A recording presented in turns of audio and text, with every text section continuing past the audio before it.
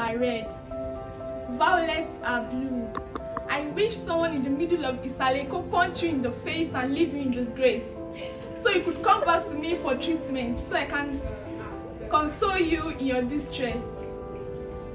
Roses are red. Violets are blue. I wish you have a stressful day.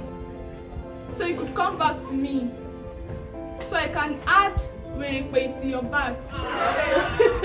so you to death. Roses are red, like my bloodshot eyes, the evidence of the way you cry my name when, when you need my help, and then spit me out when you are well. Violets are um, blue, the way I want Drum to envelope you, the way you take me for granted like the doll of your childhood.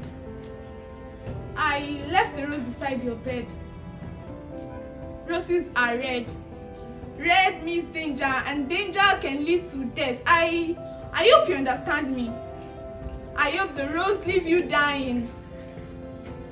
Violets are blue. The ink of my pen color blue. I'll use it to write your biography, to announce your obituary. Roses are red. I was not a witch in the Genesis. Violets are blue.